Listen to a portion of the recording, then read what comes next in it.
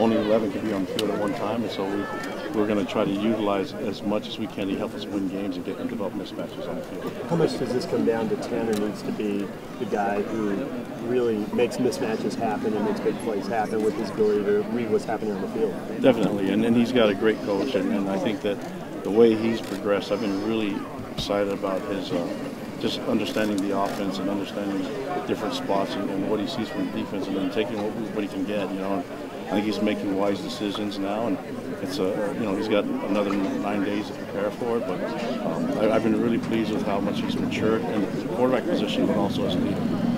Even if you were to match the production he had two years ago, is he going to have to do it differently? It's going to look different than the way he played then. Yeah, I think I think it, well he's a little older, but I think we have different pieces to, to what he had to deal with two years ago. You know, and it's a different system, but I think what Ty has done with the offensive staff is established a lot of different ways to attack a defense, and uh, we'll see what fits best for each week. I, I don't think we're going to be the same way every week. I think I think we're going to utilize different spots, but we've been preparing for this since you know since the spring, and so we, we kind of know what, what our identity is going to be, and uh, we'll work on that. And I think that it's coming along really well right now as a defensive guy, how often did you look at the personnel and use that to anticipate what the offense was about to do, and how much do you worry about tipping your hand here with the personnel groups?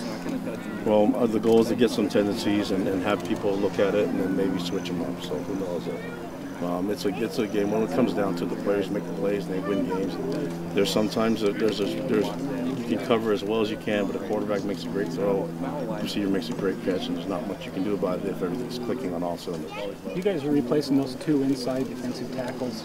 How, how comfortable do you feel with the guys, the rotation you got in there? Oh, really good. I, th- I think that, um, you know, with, with Handsome and Kesni and, and Khyiris, uh, I, I, know I feel good about that group. I, I, I, feel good about Lorenzo coming on as a freshman. Solo is doing a great job. So there's a lot of bodies there that and, and, Coach Tuiaki's done a great job with that D line. So I feel really comfortable with the D, D type of positions. I don't think that's going to be a problem for us. What it is about Khyiris that you just really, really enjoy watching him play? Well, have you met him?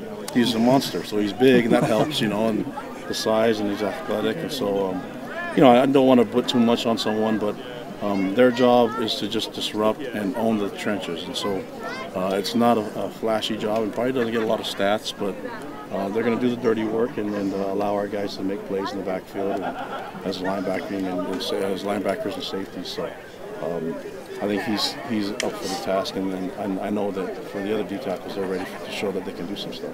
How many D linemen do you really have confidence in right now that you can put them in with this tough schedule you're going to face in September and know they can do it? I, I think we definitely have two deep, and, and some places we have more than that. I mean, defensive end, we feel good about Corbin and Sione, but Trajan's done a great job. Come along, we have, um, you know, Rhett Salmon's there. Langi Tuifua's done a great job as a freshman, so and then Uriah's there too. So there's, I just named six DNs that they can play, and I think we have just as many D tackles. So uh, we feel really good about a solid two deep and maybe possibly three in some spots. So Francis, can he still contribute on scout team? Oh, what's the plan for him just this coming? Yeah, just basically what, what we said on the release. So I know you're gonna have to ask the questions, but I'm not gonna go into specifics on everything. But he'll be, but what it said in the release that he'll be with the team and he'll be practicing with us. The freshman Ayu uh, at safety, do you, do you, see him having a role?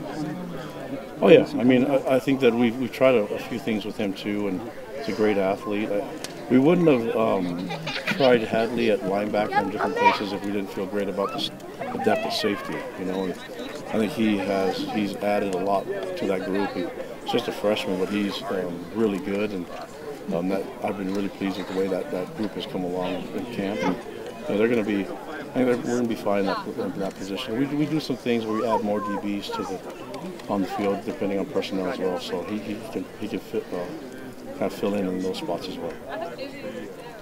Good. I hit it all. Good. Thank you guys.